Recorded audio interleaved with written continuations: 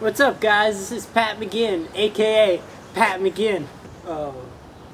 What's up, guys? This is Pat McGinn. I'm just coming here to tell you about Rendezvous 13. It's gonna be epic. There are gonna be tons of people there. It's gonna be sweet. We're gonna have tons of Black River ramps. Mike Schneider's gonna be there serving up hot dogs that may or may not happen.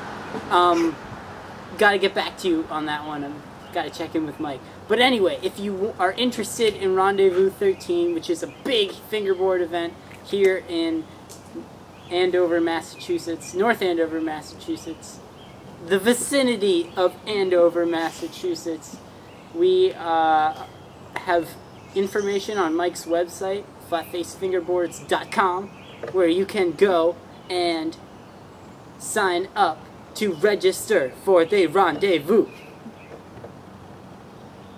Yeah, and then uh, we'll we'll see you there.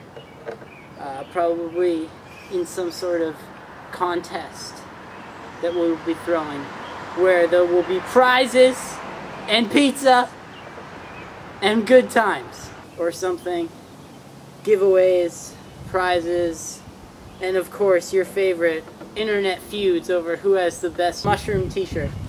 It's August 11th. It's August 11th! Go! Oh, contrary to popular belief, the Rendezvous is actually a big fingerboarding event. Most people think it's just some sort of French meetup,